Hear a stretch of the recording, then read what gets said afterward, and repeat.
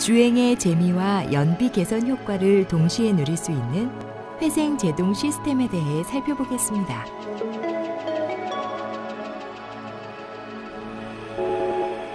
회생 제동이란 차량 감속 시 발생하는 에너지를 전기 에너지로 변환시켜 고전압 배터리를 충전하는 기술인데요. 스티어링 휠에 장착되어 있는 패들 쉬프트를 이용하여 회생 제동을 조절할 수 있습니다.